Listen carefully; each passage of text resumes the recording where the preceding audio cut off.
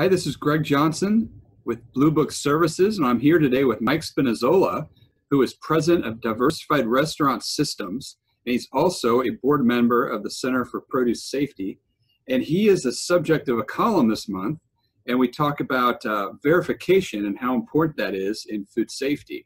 So, Mike, I'll start off by asking you um, how CPS has worked with your company and your growers on food safety and how important that's been.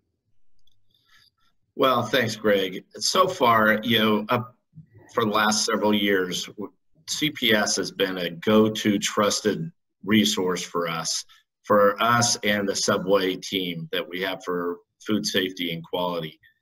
So more than that, it has been a source for all of our supply chain. So we have many suppliers and uh, growers that have a place to go. CPS is a place to go to find research that uh, might help them improve their processes and systems. Also, CPS offers that's the symposium that we can all gather and share our learnings. So, what have been some of the keys to getting growers to buy into verification and audits? Well, once again, the Subway team has very strict requirements, and verification programs and audits are are the, a big part of it. With our large uh, buying program. We, we are a very big motivator for our growers to be able to meet our standards. All of our growers, our suppliers have had a full buy in of the level of requirements that we have. And it's important that everybody is continuously looking for more and more resources to improve their programs. I think other chains, retail and other food service, also are aligned with the same focused programs that we have.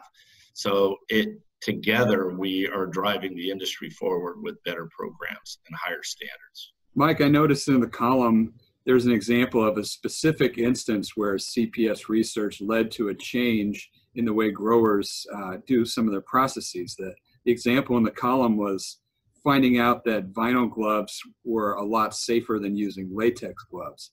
Do you find that it's something something that specific is something that really hits it home to the growers you work with uh, with the importance of food safety? Well, I think this is just one example of taking a learning, bringing it to our supply chain. We have several meetings through the year, every year, with suppliers and grower partners, and sharing something that we've learned, bringing it to them, having them drive it down into their supply chain, and finding improvements and put them into their SOPs if this is what's necessary for improvements. We do this a lot, and hopefully, what it does do is it drives our suppliers and growers to, let's say, CPS for science based data, and they can bring it to us versus us finding it first. I know that CPS's big goal is, is finding actual things that lead to food safety. Are you optimistic that CPS is accomplishing this?